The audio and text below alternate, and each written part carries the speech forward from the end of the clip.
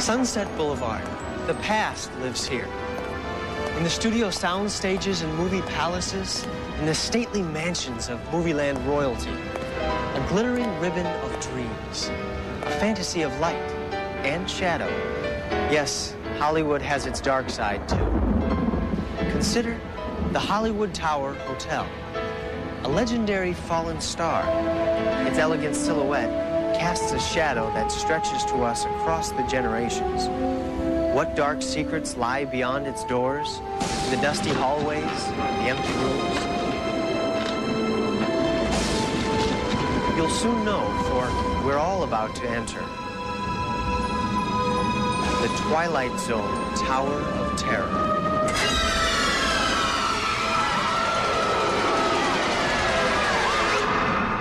Hi, I'm Kirk Cameron and this isn't Hollywood.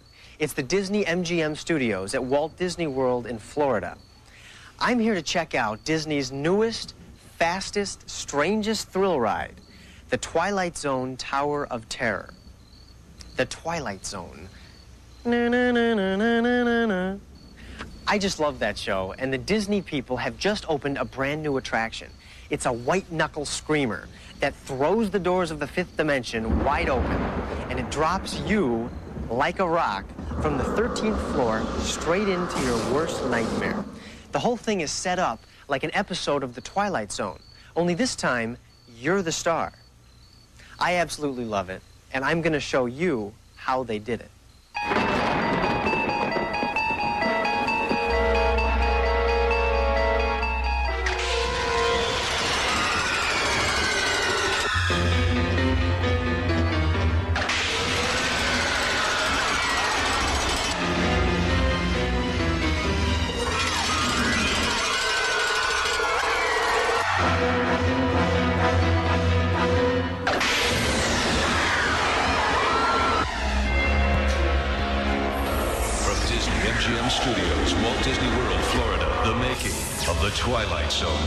Of Terror.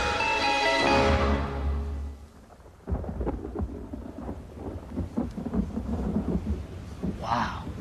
Look at this. This is amazing. We are in the lobby of the legendary Hollywood Tower Hotel. No one has set foot in this place since one bizarre night more than 50 years ago when something unexplainable happened. It was way back in 1939 back when Hollywood was really something to sing hooray about. It was the golden age when Tinseltown worked hard and partied even harder. It was the year of some of Filmland's greatest classics, like Wuthering Heights, Gone with the Wind, and The Wizard of Oz. The film community lived the good life.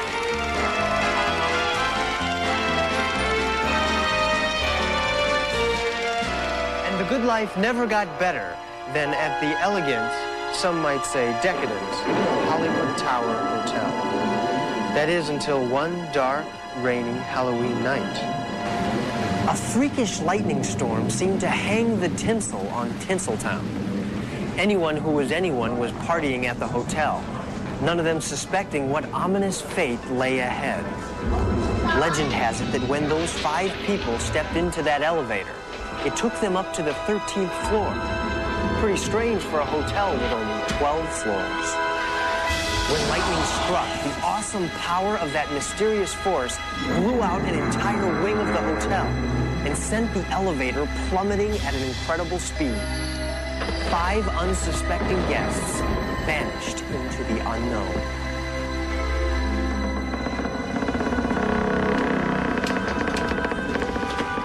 Somewhere along the way, those five unfortunate souls left the elevator and entered the Twilight Zone.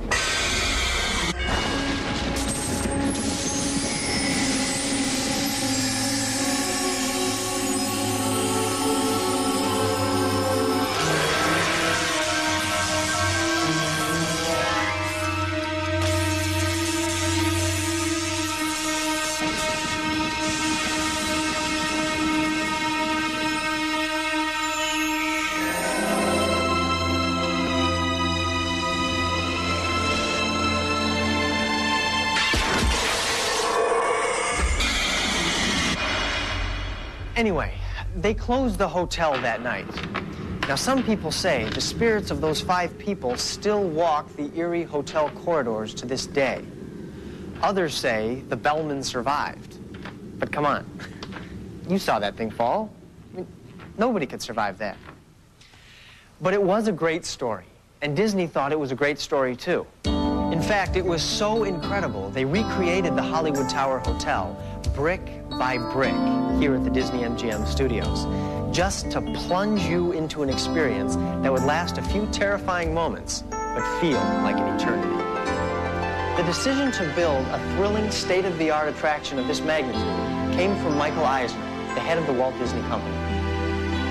Our parks, our concepts, our movies are not for children, and they're not just for adults, they're for everybody. And even though this is a monumental thrill ride, it is one that you feel totally safe and that you have a more than just a thrill experience. You have the intellectual experience of going into the Twilight Zone. An attraction like the Twilight Zone Tower of Terror doesn't just appear from out of nowhere. There's a large group of talented, dedicated people whose job it is to come up with rides and attractions that are more thrilling, terrifying, bigger, faster, scarier than any others in the entire world. They let their imaginations run free and test their engineering skills to the limits. That's actually how they got their name. You see, they took the words imagination and engineering and combined them to form one easy-to-remember word. Engine-imager Asians. Image engineer-ators. Asian imaginations. Imagineers. This very special group bears the Disney name, and that's a lot to live up to. Walt Disney Imagineering has a long tradition of combining thrilling rides with story and drama. Space Mountain, an incredible race through the galaxy. Star Tours, a zoom through space on a runaway star speeder. And on Splash Mountain, you hold on for dear life as you ride a log flume down a raging river. Now, to create a great attraction, Disney's Imagineers needed a great idea. One way of uh, looking at a blank piece of paper is it's the most frightening thing in the world because there's nothing on it.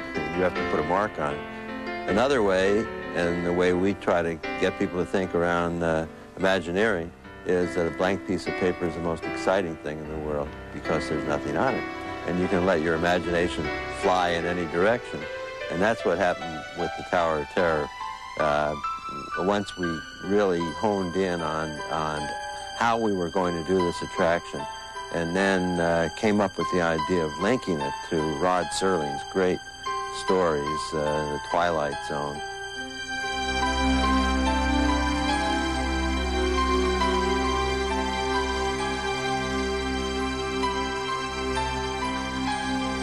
I think that was the magic that brought it all together because uh, it gave us a whole framework to hang uh, all the ideas on. Once they had the concept, it was time to add a compelling story.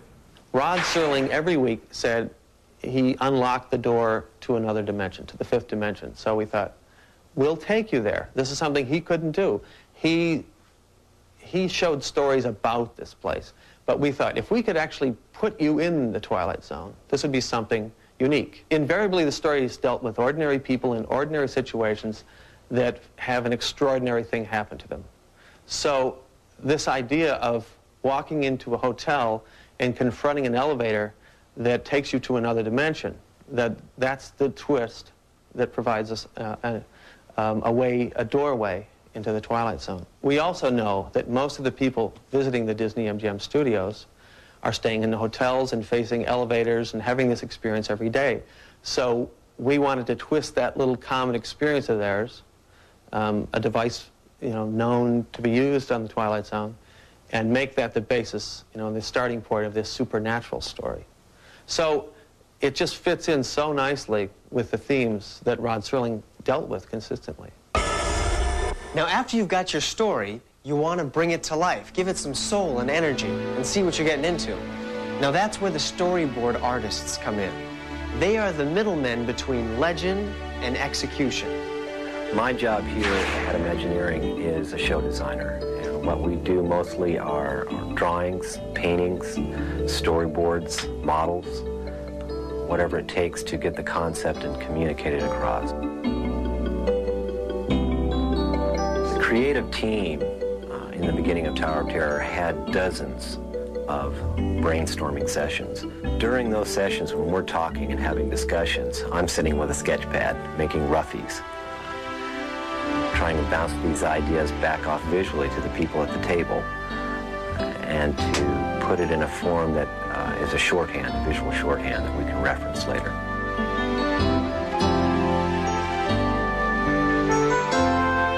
Guiding intentions behind the attraction was that we wanted to reflect the opulence of 1939 Hollywood, but show it in a state of neglect, show it in a state of disrepair. If you came into a once elegant room, you should now be able to smell the dust and, and mustiness of it. There should be signs of wear and tear, of patina that had grown with age on something that was once very, very shiny, very glorious. One of the most satisfying things for me as a designer on the project is to see it go from concept discussions to all kinds of sketches and paintings, to seeing it become a real environment that people can walk through, that you can see their expressions, uh, enjoying and experiencing this story. The Twilight Zone Tower of Terror isn't only Walt Disney World's newest and tallest landmark, it's an absolute work of art and the ultimate multimedia thrill attraction. It's almost 200 feet tall, and they used over 3 million pounds of steel, over 145,000 cubic feet of concrete, and 27,000 roof tiles to build it. 10,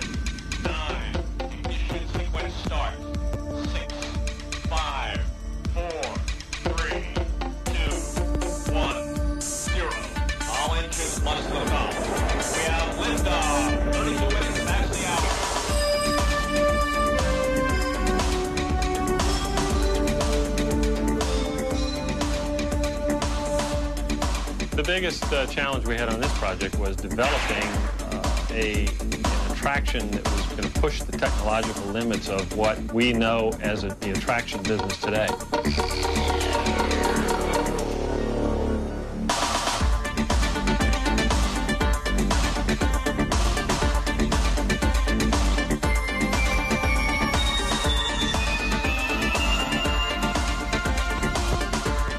Of the most interesting challenges of building an attraction for Disney is that we try so hard to make everything look like it's not. Um, we, we build a brand new facility, and then we come in right behind it, and we try to make it look 65 years old.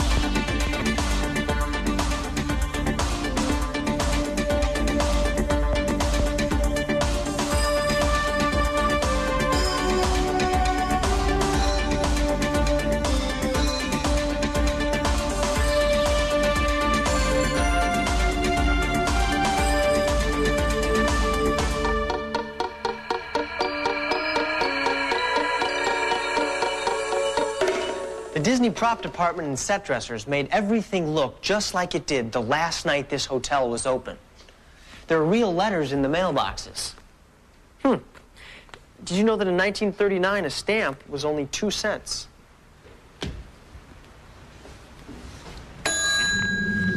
Hey, it really rings. You rang, sir. Uh, I, I was just playing with the bell. Sorry.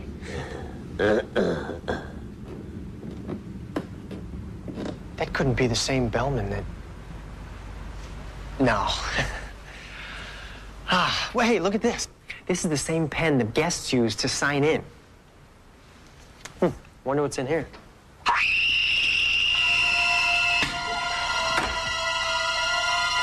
This place is really starting to spook me.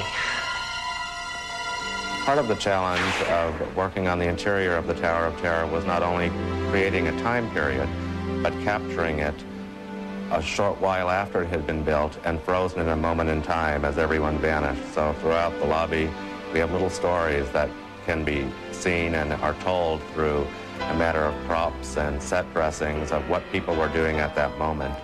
In researching the time period, we had to really uncover what was popular at the time and what people likely would have been doing in that hotel when it finally shut down. Right here. See how it's set up? What we're trying to capture in this scene is a mahjong game in progress, which was very popular at the time.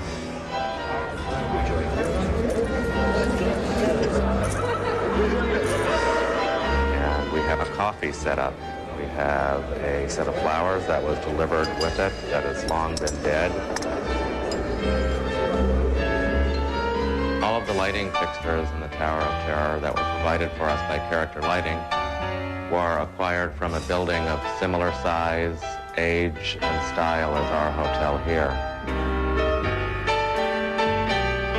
The 1920s pattern on the tapestry was our guide for the rest of the colors in the room.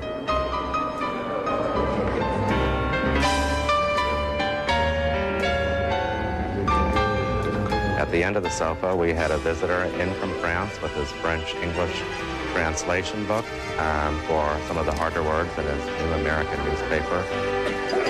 There was a lot of activity that last day in 1939. We had a very wealthy person checking in at the time with a very swank set of luggage. He has just signed in the registration book and is now leaving a note at the registration desk telling of a friend arriving later and to please hold their room.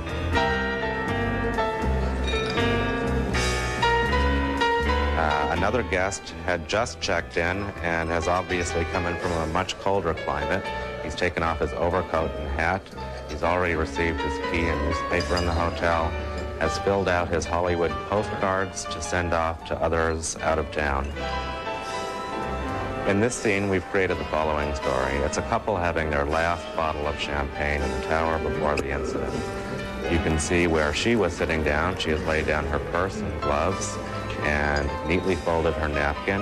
And although her champagne glass is dry, she still has lipstick on her glass. And where he was sitting, he just sort of wrinkled his napkin and tossed it on the table.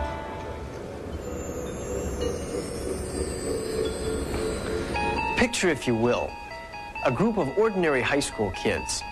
They're out for a night of fun at the Disney MGM studios.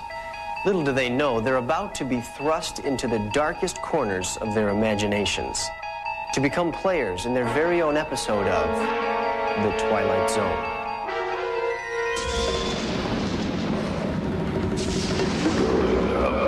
Like all those brave enough to enter the Twilight Zone Tower of Terror, these guests will be retracing the footsteps of those faithful five who disappeared long, long ago. But beware, once those doors close, there's no escape except through the fifth dimension.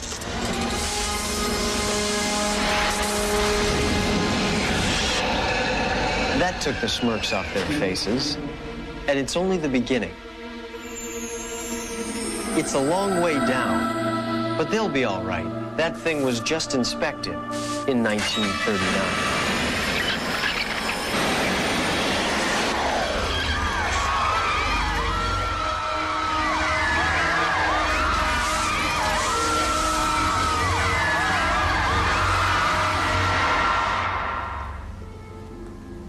Submitted for your approval.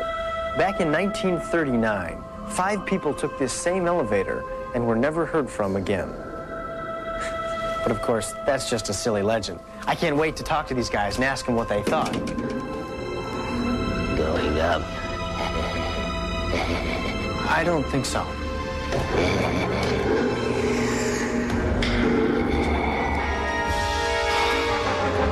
In this business to take four and a half or five years of, of your life and uh, to uh, start with a, a just it may just be a line or it may be a sketch and then four and a half or five years later to find people uh, laughing and, and screaming and uh, yelling and saying wow that was fabulous. That was worth traveling from ohio uh, just for that. And I think that's the satisfaction that most of us live for. Though one of our goals was to make this ride a scary ride, we wanted to stay true to the spirit of the Twilight Zone. And in keeping with that, we wanted also to have a sense of wonder, a sense of mystery to it, as opposed to just horror. Uh, just as a thunderstorm can be very frightening and disquieting, it also has a sense of mysterious beauty to it as well, and we wanted the guest to walk away with that. So we have salted throughout the attraction very subtle references sometimes, sometimes not so subtle references to episodes of the Twilight Zone TV series. Um, we acknowledge the, the immense debt that we owe to Rod Serling and the Twilight Zone and the people who created it um, for providing us with this wonderful mood and this wonderful story. So we wanted to sort of pay homage to that. And uh, I think after repeated viewings in, uh, of the attraction, you'll, you may start to find little mementos of your favorite episode somewhere in the attraction.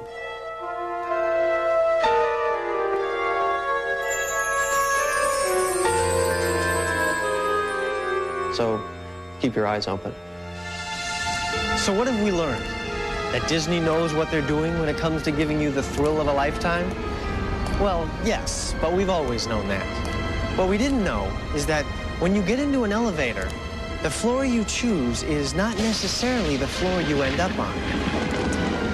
And the next time you need a hotel reservation, if you want an experience that you'll never forget, make sure the hotel you choose is the four-star rated Twilight Zone Tower of Terror.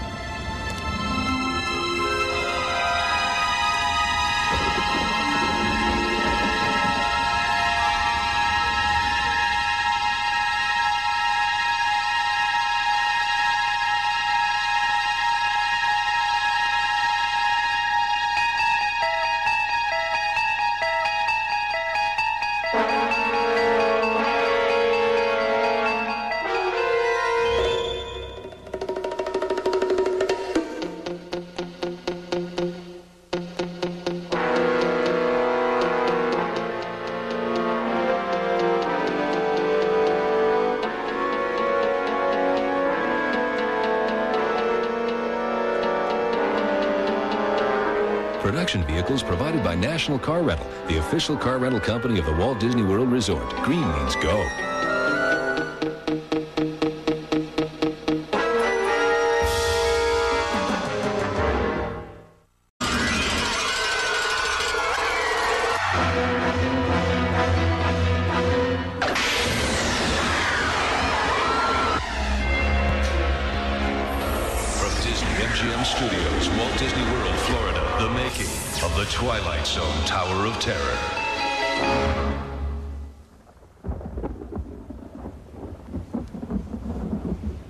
Wow. Look at this. This is amazing. We are in the lobby of the legendary Hollywood Tower Hotel. No one has set foot in this place since one bizarre night more than 50 years ago when something unexplainable happened. It was way back in 1939, back when Hollywood was really something to sing hooray about. It was the golden age when Tinseltown worked hard and partied even harder. It was the year of some of Filmland's greatest classics, like Wuthering Heights, Gone with the Wind, and The Wizard of Oz. The film community lived the good life.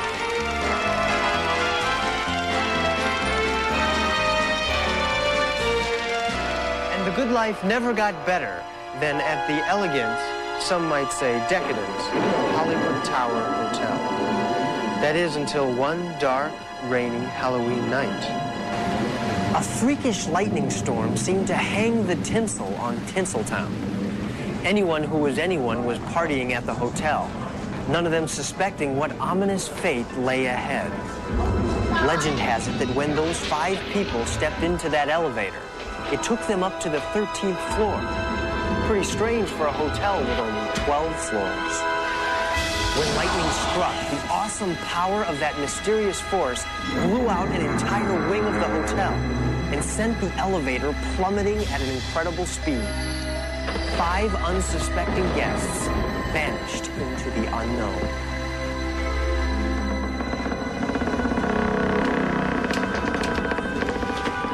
Somewhere along another dimension, to the fifth dimension. So we thought, we'll take you there. This is something he couldn't do. He, he showed stories about this place. But we thought, if we could actually put you in the Twilight Zone, this would be something unique. Invariably, the stories dealt with ordinary people in ordinary situations that have an extraordinary thing happen to them. So this idea of walking into a hotel and confronting an elevator that takes you to another dimension, that that's the twist that provides us uh, a, um, a way, a doorway into the Twilight Zone. We also know that most of the people visiting the Disney MGM studios are staying in the hotels and facing elevators and having this experience every day. So we wanted to twist that little common experience of theirs, um, a device you know, known to be used on the Twilight Zone, and make that the basis, you know, the starting point of this supernatural story. So it just fits in so nicely with the themes that Rod Serling dealt with consistently.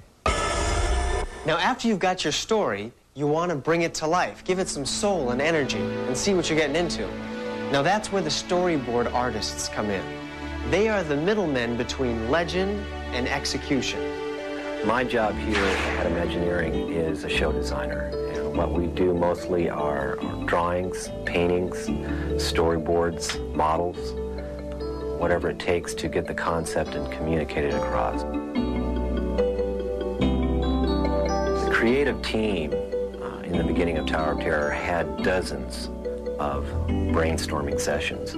During those sessions, when we're talking and having discussions, I'm sitting with a sketch pad making roughies, trying to bounce these ideas back off visually to the people at the table and to put it in a form that uh, is a shorthand, a visual shorthand that we can reference later.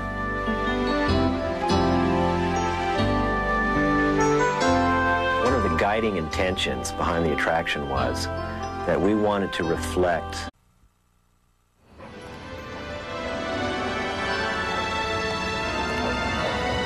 Sunset Boulevard. The past lives here. In the studio sound stages and movie palaces, in the stately mansions of Movieland royalty, a glittering ribbon of dreams, a fantasy of light and shadow. Yes, Hollywood has its dark side too. Consider the Hollywood Tower Hotel, a legendary fallen star. Its elegant silhouette casts a shadow that stretches to us across the generations. What dark secrets lie beyond its doors, the dusty hallways, the empty rooms? You'll soon know, for we're all about to enter the Twilight Zone Tower of Terror.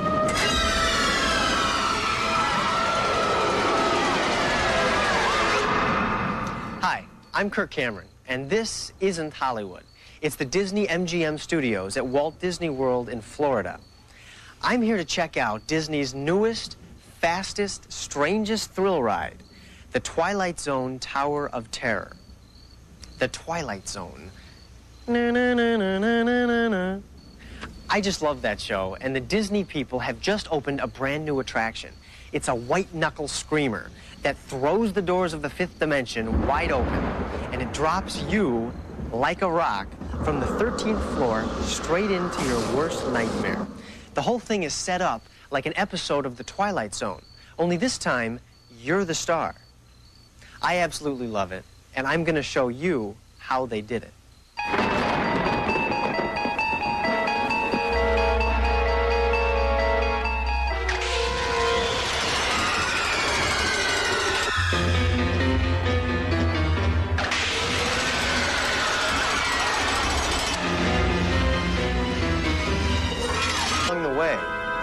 Five unfortunate souls left the elevator and entered the Twilight Zone.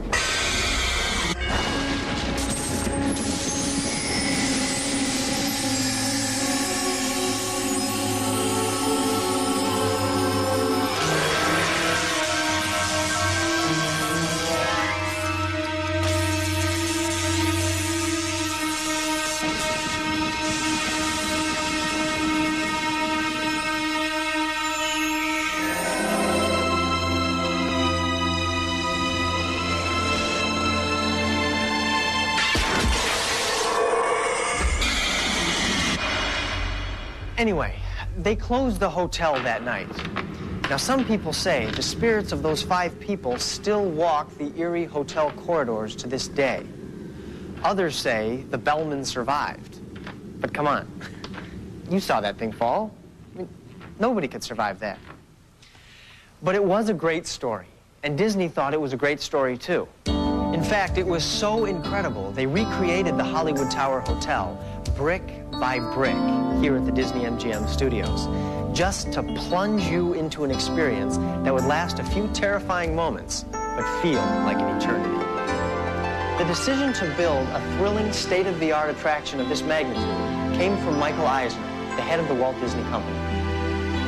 Our parks, our concepts, our movies are not for children, and they're not just for adults, they're for everybody. And even though this is a monumental thrill ride, it is one that you feel totally safe and that you have a more than just a thrill experience. You have the intellectual experience of going into the Twilight Zone.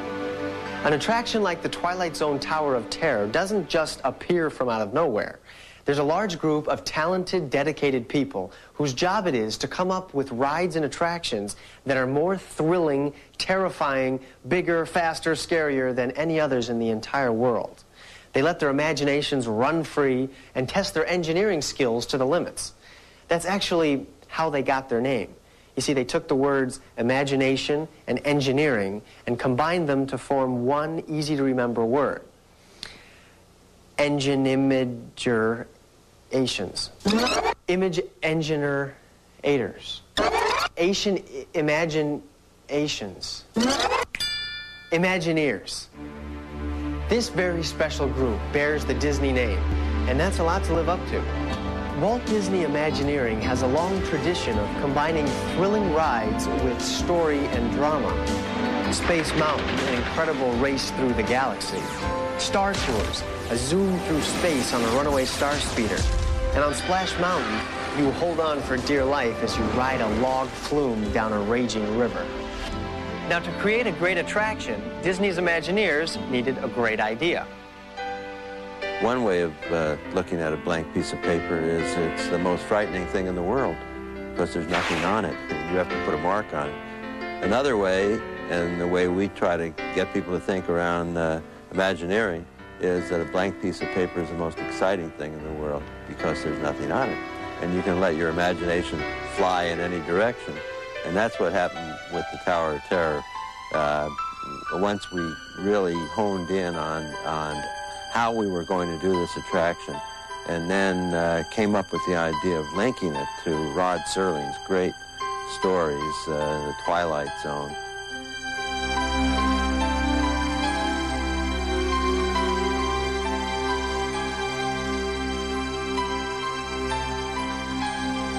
I think that was the magic that brought it all together because uh, it gave us a whole framework to hang uh, all the ideas on. Once they had the concept, it was time to add a compelling story. Rod Serling every week said he unlocked the door to